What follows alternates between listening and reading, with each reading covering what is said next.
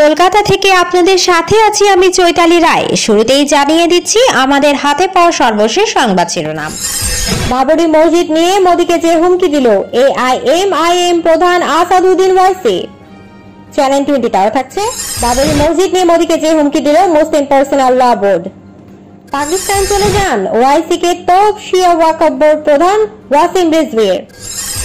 বাবরি মসজিদের জায়গায় রাম মন্দির নির্মাণ উদ্বোধন মোদীর। এরপর আরও থাকছে পাকিস্তানের মানচিত্রে ভারতীয় ভূখণ্ড, নতুন বিপদে ভারত। সর্বশেষ চ্যানেল টোয়েন্টি দর্শকদের জন্য থাকছে একটি বিশেষ প্রতিবেদন। কাশ্মীর ইস্যুতে ভারতের সিদ্ধান্তকে অবৈধ বলছে চীন। দর্শক শুনছিলেন শিরোনাম, এবার বিস্তারিত প্রতিবেদনে যাওয়ার আগে অনুরোধ করব চ্যানেলটি সাবস্ক্রাইব করুন পাশে থাকা বেল বাটনে ক্লিক করে আপডেট থাকুন। বাবরি মসজিদ নিয়ে মোদীকে যে হুমকি দিল A I M I M প্রধান আসাদুদ্দিন ওয়াইসি। অযোধ্যায় বুধবার হওয়া ভূমি পুজোর অবসরে লোকসভার সাংসদ তথা সর্বভারতীয় মজলিস এ ইত্তেহাদুল মুসলিমিন এর প্রধান আসাদুদ্দিন ওয়াইসি বাবরি মসজিদকে স্মরণ করেন। পনেরোশো সালে অযোধ্যায় মুঘল সম্রাট বাবর মসজিদের শিলান্যাস করেছিলেন। সেই মসজিদটির গম্বুজ উনিশশো এর ছয় ডিসেম্বর রাম মন্দির আন্দোলনে কর সেবকেরা ভেঙে দেন।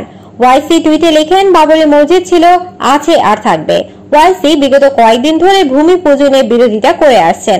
গত সপ্তাহে উনি বাবরি মসজিদ বিধ্বস্ত করার জন্য কংগ্রেসকে দায়ী করেছেন। উনি একটি টুইটে লেখেন, যার জন্য এত কিছু হয়েছে তাকে ক্রেডিট দেওয়া উচিত। রাজীব গান্ধী ছিলেন যিনি বাবরি মসজিদের তালা খুলেছিলেন আর পিভি নরসিমহা রাও প্রধানমন্ত্রী আসনে বসে বাবরি মসজিদকে বিধ্বস্ত হতে দেখেছিলেন। কংগ্রেস সংঘ পরিবারের সাথে এই বিধ্বস্ত অভিযানকে হাতে হাত ধরে দেখেছিল। ওয়াইসি ভূমি পূজন অনুষ্ঠানে প্রধানমন্ত্রী নরেন্দ্র মোদীর উপস্থিতি নিয়েও প্রশ্ন করেন। উনি বলেছিলেন, প্রধানমন্ত্রী এই অনুষ্ঠানে অংশ নিয়ে সংবিধান শপথকে অমান্য করেছেন। উনত্রিশ জুলাই ওয়াইসি টুইট করে লিখেছেন, অফিসিয়ালি ভাবে ভূমি পুজোর অংশ নেয়া প্রধানমন্ত্রীর সংবিধান শপথের লঙ্ঘন হবে। ধর্ম নিরপেক্ষতা সংবিধানের মূল স্তম্ভ। এর সাথে সাথে উনি এও লিখেন, আমরা ভুলতে পারব না যে চারশো বছর ধরে অযোধ্যায় এই জায়গায় বাবরি মসজিদ দাঁড়িয়েছিল সেটিকে উনিশশো বিরানব্বই সালে অপরাধীরা ভেঙে দেয়। এদিকে আরেকটি হট নিউজ হচ্ছে, বাবরি মসজিদ নিয়ে মোদীকে যে হুমকি দিল, Muslim personal law board Babri মসজিদই ছিল আর মসজিদই থাকবে। অন্যায়ভাবে জমির দখল, নিষ্ঠুর, লজ্জাজনক এবং সংখ্যাগুরুকে তোষণ করা যায়, কখনো এর মর্যাদা কেড়ে নিতে পারে না। A I M P L মনে করে যে, বিষয়টি ইসলামিক শরিয়ার দৃষ্টিতে দেখলে যে কোনো স্থানে মসজিদ থাকা মানেই তার অবস্থান সেখানে হবে। অযথা রাম মন্দিরে ভূমি পুজোর দিনই বাবরি মসজিদ বিতর্কে ফের সামনে এলো। All India Muslim personal law board মঙ্গলবারই একটি টুইটে জানায়, বাবরি অতীতে মসজিদে ছিল আর মসজিদে থাকবে। হাজিয়া সোফিয়ার ঘটনায় এর প্রকৃত উদাহরণ, অন্যায়ভাবে জমির দখল, নিষ্ঠুর, লজ্জাজনক ও সংখ্যাগুরুকে দর্শন করা যায়। কখনো বাবরি মসজিদের মর্যাদা কেড়ে নিতে পারে না। মন খারাপ করার দরকার নেই। পরিস্থিতি চিরস্থায়ী হয় না। এআইএমপিএলবি এদিন একটি বিবৃতি দিয়েছে। বিবৃতিতে বলা হয়েছে, মসজিদের মধ্যে একটা মূর্তি রেখে দিলেই মসজিদ আর মসজিদ থাকে না, এমনটা নয়। আরও জানানো হয়, অযোধ্যায় বাবরি মসজিদের জমিতে একটি মন্দিরে শিলান্যাস হয়েছে। মনে করছে, এই মুহূর্তে এই বিষয়ে তাদের ঐতিহাসিক অবস্থান পুনরায় স্মরণ করে দেওয়া অত্যন্ত গুরুত্বপূর্ণ। ইসলামী শরিয়া অনুসারে মসজিদ একবার যেখানে স্থাপিত হয় সেখানে তা চিরকাল ধরে থেকে যায়। সুপ্রিম নির্দেশে মানতে বাধ্য হলেও তা মন থেকে মেনে নিতে পারছে না ল বোর্ডের জেনারেল সেক্রেটারি মৌলানা মোহাম্মদ ওয়ালি রহমানি। তিনি বলেন, আমাদের বরাবরের বক্তব্য বাবরি মসজিদ কোন মন্দির বা হিন্দু উপাসনার স্থান ধ্বংস করে গড়ে ওঠেনি। সুপ্রিম কোর্টও আমাদের এই অবস্থানকে মান্যতা দিয়েছে। সুপ্রিম কোর্ট সুস্পষ্টভাবে উল্লেখ করেছে যে উনিশশো সালের বাইশ ডিসেম্বর রাতেও মসজিদে নামাজ পাঠ হয়েছিল। সুপ্রিম কোর্ট এও মেনে নিয়েছে যে মসজিদে মূর্তি রেখে আসা একটি বেআইনি কাজ। রায়ে এই কথাও স্বীকার করা হয় যে উনিশশো বিরানব্বই সালে ছয় ডিসেম্বর বাবরি মসজিদ ধ্বংস করা হয়েছিল বেআইনি ও অসাংবিধানিক এবং অপরাধ হয়েছিল। এটা বাস্তবিকই খুব দুর্ভাগ্যের যে সবকিছু মেনে নেওয়ার পরও শীর্ষ আদালত একটি অত্যন্ত অন্যায্য রায় দিয়ে মসজিদের জমিটি তাদের হাতে তুলে দিল, যারা একদিন অন্যায়ভাবে বাবরি ধ্বংস করেছিল। রহমানি আরও বলেন, এই দেশে দাঁড়িয়ে সুপ্রিম কোর্টই বিচারের সর্বোচ্চ প্রতিষ্ঠান, তাই আমাদের মেনে নেওয়া ছাড়া আর কোনো উপায় ছিল না। তবে নিশ্চিতভাবে বলব, এটা একটা অন্যায় রায়। বোর্ডের সদস্য মুফতি এজাজ এরশাদ বলেন, যা হয়েছে তা চরম অবিচার। আমাদের কাছে এটা চিরকাল মসজিদে থাকবে। বাবরি আমাদের হৃদয়।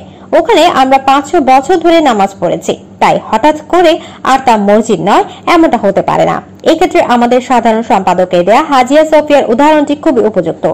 সেখানে এক সময় নামাজ পড়া হতো, আমরা এখন সেই আশাতেই রইলাম। এর গাড়িতে হাত নিয়ে যাচ্ছে পাকিস্তান চলে যান। ওয়াইসিকে তোপ শিয়া ওয়াকফ বোর্ড প্রধান ওয়াসিম রিজভির।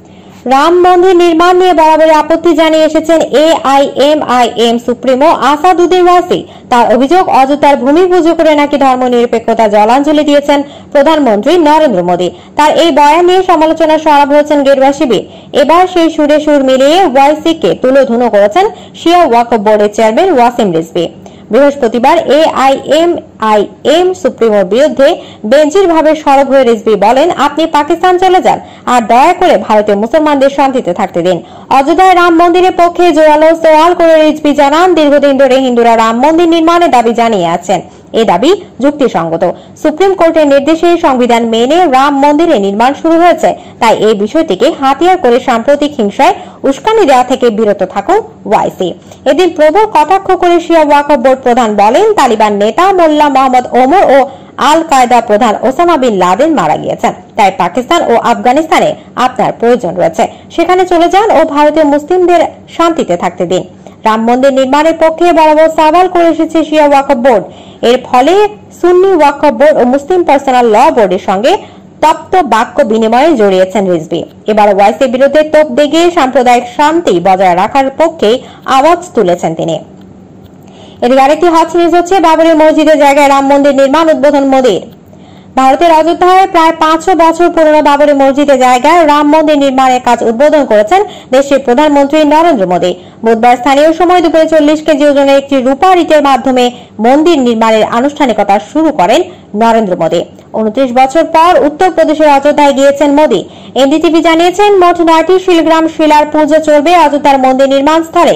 মন্দিরের জন্য কয়েক বছর ধরে ভক্তদের কাছ থেকে শ্রীরাম লেখা খোদাই করা দুই লাখ ইট সংগ্রহ করা হয়েছে।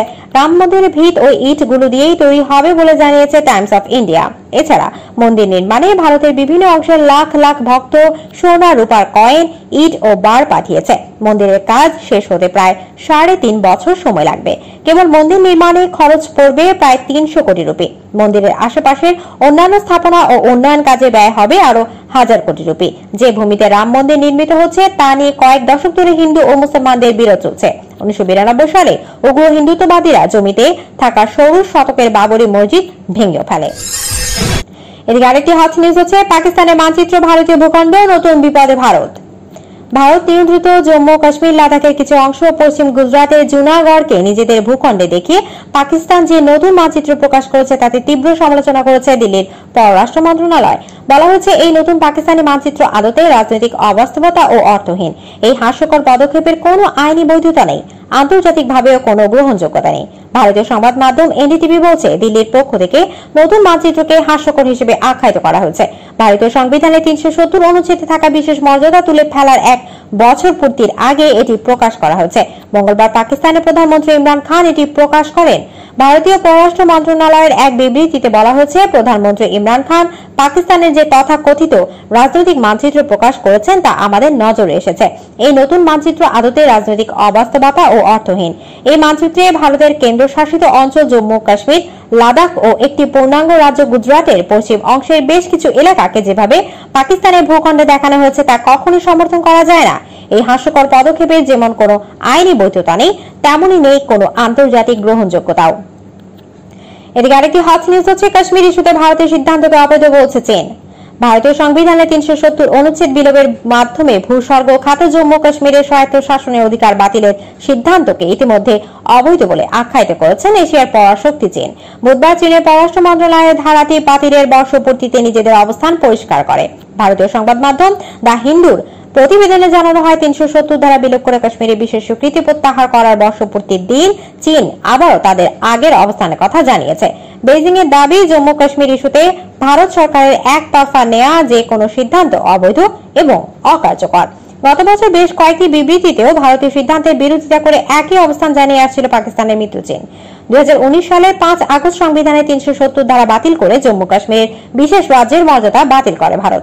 তিন মাস বাদে গত অক্টোবরে জম্মু কাশ্মীর রাজ্যের মর্যাদা হারিয়ে দুটি ভাগে বিভক্ত হয়ে কেন্দ্রশাসিত অঞ্চলে পরিণত হয়। ভারতের এই পদক্ষেপের প্রভাব প্রতিক্রিয়া নিয়ে জানতে চাওয়া হলে চীনা পররাষ্ট্র মন্ত্রণালয়ের মুখপাত্র ওয়াং ওয়েন বিন বলেন চীন কাশ্মীর এলাকায় পরিস্থিতির দিকে কড়া নজর রাখছে কাশ্মীর প্রশ্নে চীনের অবস্থান পরিষ্কার, স্পষ্ট ও অবিচল।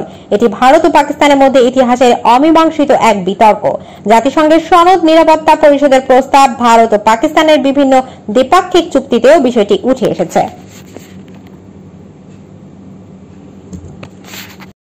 ভিডিওটি লাইক করুন এবং নিত্য নতুন তথ্য জানতে ভিডিওর নিচে সাবস্ক্রাইব লেখাতে ক্লিক করে থাকুন।